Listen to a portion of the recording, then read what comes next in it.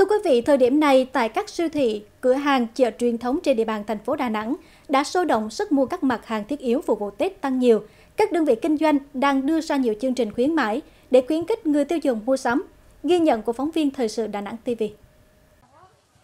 Tại các chợ Đà Nẵng, hàng hóa Tết đã được bày biện khá bắt mắt. Theo các tiểu thương, lượng hàng hóa chuẩn bị cho thị trường Tết năm nay tăng khoảng 30% so với mọi năm. Đến thời điểm này, người dân cũng đã bắt đầu đi mua hàng. Vì vậy, hoạt động mua bán tại các chợ sôi động hơn hẳn. À, cái thời điểm này thì à, ở chợ nó đã là khởi sắc hơn mọi năm nhiều nhất là sau cái đợt dịch vừa qua. Thì à, nói chung là cái người mà thu nhập thấp với là người thu nhập trung bình là có thể tới chợ cồn được. Có chương trình khuyến mãi là mua trên 500 ngàn thì được một cái à, phiếu voucher quà tặng.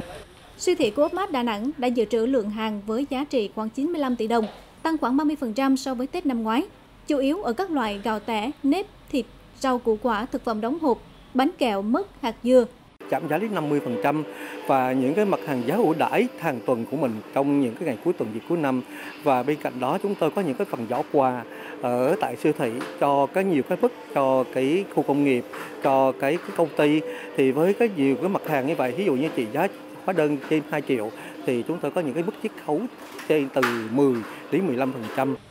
Theo tổng hợp của Sở Công Thương, lượng hàng hóa phục vụ Tết của doanh nghiệp trên địa bàn Đà Nẵng tăng từ 20 cho đến 30%, với tổng lượng dự trữ các mặt hàng lương thực thực phẩm khoảng 2.300 tỷ đồng. Hoạt động khuyến mại tập trung vào các kênh phân phối tại hệ thống các siêu thị, trong đó tập trung vào các mặt hàng phục vụ Tết như bánh kẹo các loại, nước giải khát, mứt, đồ khô, hàng thời trang, cùng nhiều chương trình giảm giá sâu đưa ra những cái chương trình rất là tốt cho khách hàng giảm giá sâu từ 30 đến 50% thậm chí có những sản phẩm là mua một tặng một là tặng như 100% bởi vì chúng tôi hiểu rằng á, là cái sự mà cam kết giá đối với khách hàng là thực hiện quanh năm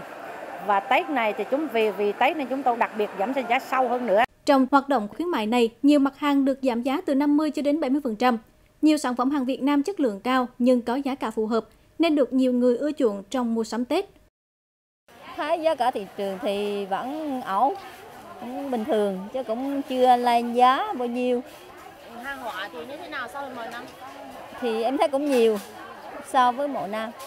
Sở Công Thương cho biết dù các đơn vị bán lẻ đã có sự chuẩn bị hàng hóa cho mùa kinh doanh Tết khá sớm, nhưng đơn vị cũng sẽ tiếp tục theo dõi đánh giá nguồn cung, nhu cầu hàng hóa, có các phương án không để xảy ra tình trạng thiếu hàng, gián đoạn nguồn cung gây tăng giá đột biến trong dịp cuối năm và Tết.